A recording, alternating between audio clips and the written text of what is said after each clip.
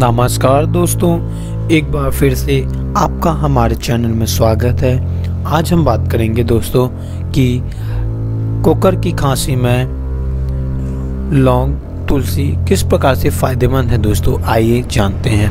पहला, लौंग को आग में भूनकर, शहद में मिलाकर चाटने से कुकर खांसी ठीक हो जाती है दोस्तों। दूसरा, तुलसी के पत्ते और काली मिर्च समान भाग पीस लें इसकी मूंग के बराबर गोलियाँ बना लें। एक एक गोली चार बार दें। इससे कुकर खांसी ठीक हो जाती है दोस्तों।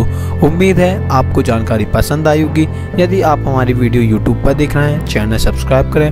वीडियो को आप फेसबुक पर देख रहे हैं। पेज को लाइक कीजिए। धन्यवाद दोस्तों।